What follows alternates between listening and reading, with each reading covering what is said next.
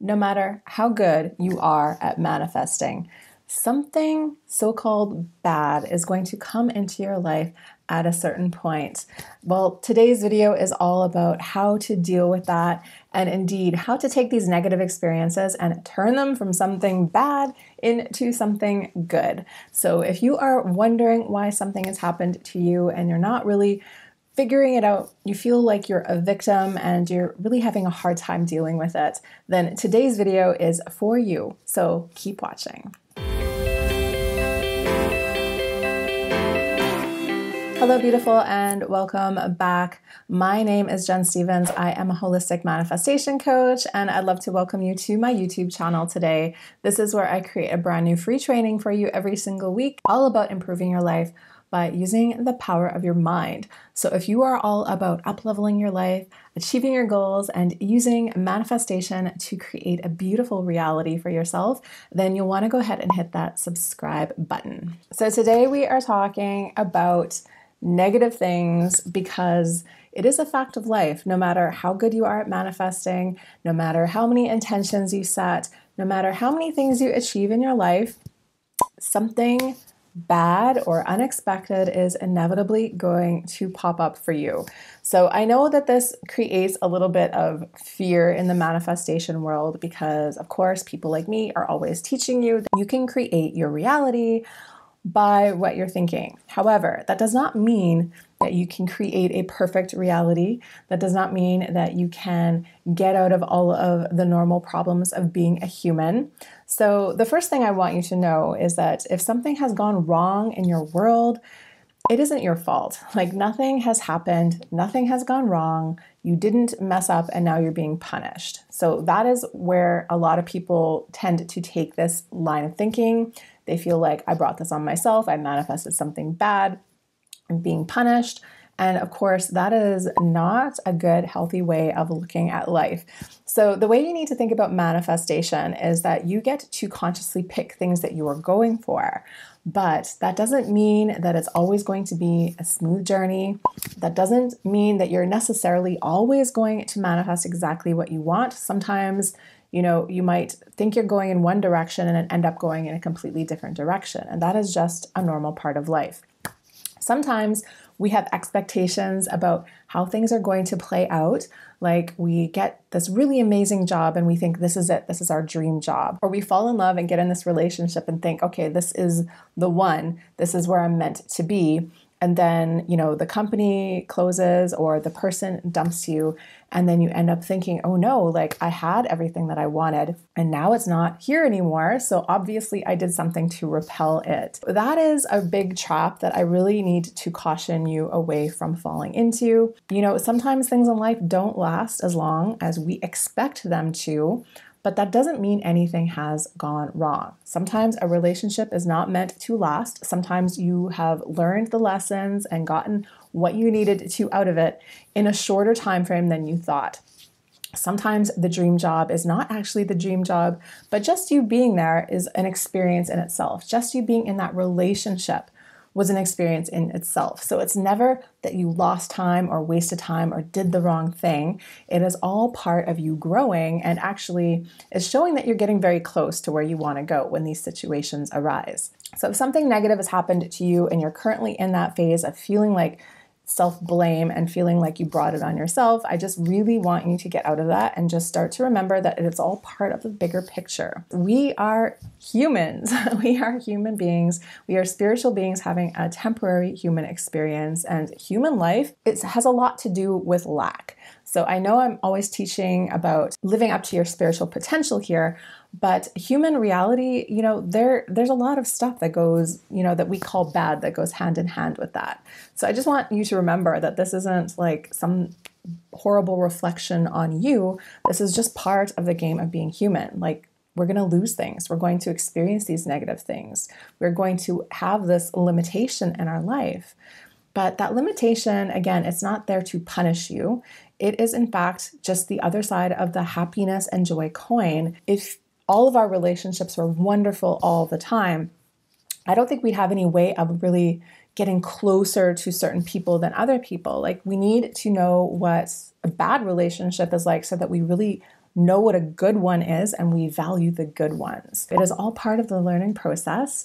And that brings me to the point that I want to make today is that you can turn any single experience into a growth experience. When you're just in the middle of experiencing heartbreak or loss, of course, I'm not going to rush you through that process. Like, give yourself time to grieve, give yourself time to feel sad, give yourself time to be angry and feel those things. Because if you just start to rush into positive thinking, you're not really dealing with those feelings, and those feelings are going to pop up probably at a very inopportune time somewhere down the road.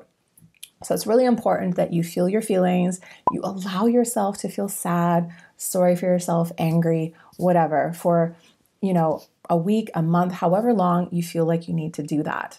The trick is do not let yourself get stuck there. Just because you feel sad right now doesn't mean you need to stay sad forever. Just because you feel angry right now doesn't mean you need to stay angry forever. So it's time to start to think about your life as you being an emotional alchemist. So you have the power to turn that shit into gold. You have the power to take a so called negative experience and turn it into something beautiful. That doesn't just happen. Like just you staying sad or staying angry doesn't necessarily lead to this kind of growth. So you have to start to challenge yourself to rise to the occasion.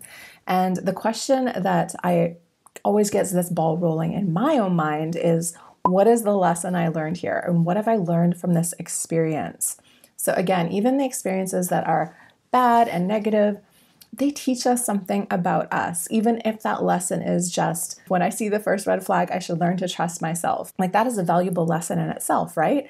Uh, Self trust is so important. We think that we trust ourselves, but often we don't really see that trust in action until it is out there in the real world. We can fall out of the patterns of self trust. We think we're trusting ourselves, but really we're just wanting something to work that maybe isn't working. As long as you hold on to the lesson, as long as you deeply integrate that lesson, you are elevating yourself beyond the situation. And that is the only way that you are going to truly prevent yourself from experiencing this thing again. So, when the lesson stops appearing in our life, that's when we know we've learned it. So, if you are falling into the same patterns, like getting your heart broken in the same kind of way over and over again, you know that that lesson isn't really sticking. You know the next time that happens that there is something more that you need to take from the situation for next time.